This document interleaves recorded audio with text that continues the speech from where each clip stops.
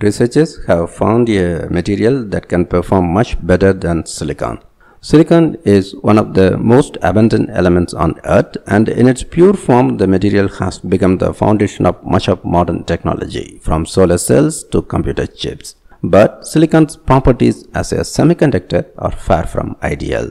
For one thing, although silicon lets electrons whisk through its structure easily, it is much less accommodating to holes, electrons' positively charged counterparts, and harnessing both is important for some kinds of chips.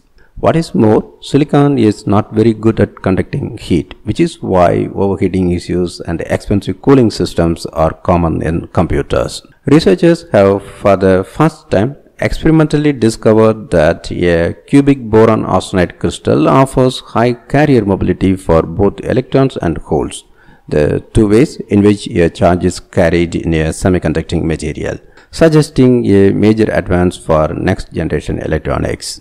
While earlier predictions had theorized that the crystal could exhibit simultaneously high electron and hole mobility, one of two papers published in the journal Science shows that researchers were able to experimentally validate the high carrier mobility at room temperature, expanding its potential use in commercial applications.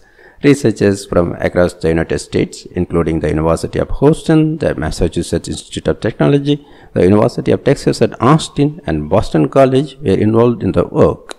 An accompanying paper in the Science describes the use of transient reflectivity microscopy to measure the crystal, demonstrating the high mobility and in some cases when a higher energy laser beam was used, exceeding previous predictions.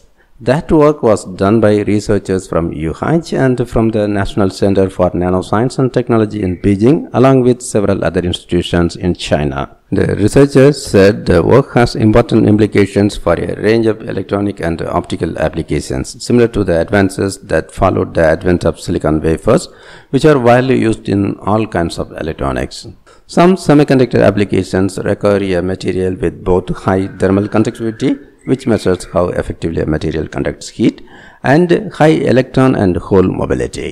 Earlier research had demonstrated cubic boron arsenide has high thermal conductivity, making the high ambipolar mobility a crucial advance.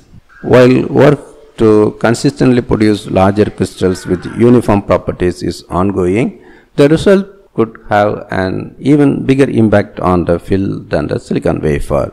That is because semiconductors require that current be carried both through electrons and holes, but most known materials offer high mobility only for one type of carrier.